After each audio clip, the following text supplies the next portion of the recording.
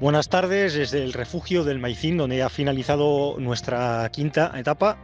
Eh, salimos esta mañana de Villamanín, de la Tercia, un poco alejado de, la línea que originalmente queríamos, eh, queríamos seguir.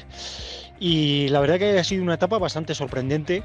Em, hemos llegado al Parque Natural de Ubiñas La Mesa, que um, tiene las máximas alturas de, la cordillera cantábrica después de picos de Europa y hemos podido pasar por eh, debajo de Peña Ubiña, que es la, reina y señora, la montaña reina y señora del, lugar. Y um, en uno de los pocos momentos en los que hemos podido disfrutar de, cielos despejados, por, puesto que hemos eh, salido por encima de la bruma, y eh, porque el resto del día lo hemos pasado envueltos en niebla y con una sensación de humedad bastante grande, tanto en el cuerpo como en los pies, todo el día, todo el día mojados. En ese sentido ha sido un día algo duro, pero bueno, estamos aquí eh, en el refugio y, bueno, pues esperando a que a que Tania nos, nos prepare una, una, cena riquísima de las que ella sabe.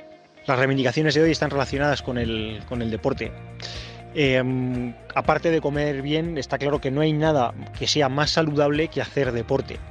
Y no solo es saludable, sino que además puede mejorar muchísimo tu calidad de vida. Y si puede mejorar tu calidad de vida, eh, pues pensad que en el caso de personas con diversidad funcional eh, puede mejorarlo y mucho. Y esto, eh, ya sea bailar, ya sea correr, ya sea jugar al baloncesto, cualquier tipo de deporte tiene un impacto muy positivo en la vida de, de cualquier persona.